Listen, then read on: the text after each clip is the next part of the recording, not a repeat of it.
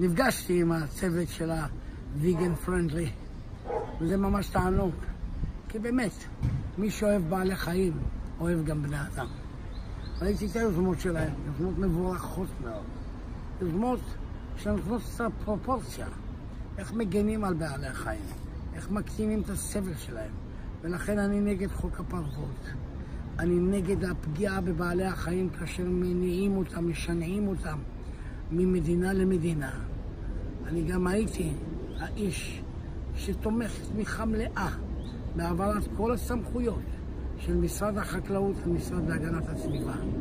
הגיע הזמן שיהיה משרד אחד חזק שאחראי על זכויותיהם ועל מצבם של בעלי החיים בישראל, גם בעלי חיים שנחשבים לבעלי חיים ביתיים וגם בעלי החיים בטבע. אני כמובן תומכי המיתלס מנדי, ובבית שלי יש גן חיות שלם שאני אוהב. יש לנו כלבים וחתולים ודגים, והנכדים שלי מתערבבים איתם באהבה טבעית לחלוטין. יש לי כמובן כמה צמחונים בבית, צבעונים, ואני זה שמכין את הסלטים הכי טובים בארוחת שישי כל שבת.